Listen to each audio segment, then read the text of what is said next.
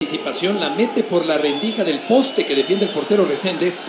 Un error del portero que descuida a su propio poste, pero excelente la Jud que hace pocos días Toño en este mismo escenario le propuso matrimonio a su novia ahí en la cancha del Estadio Azulgrana y ahora marca su primer gol como atlantista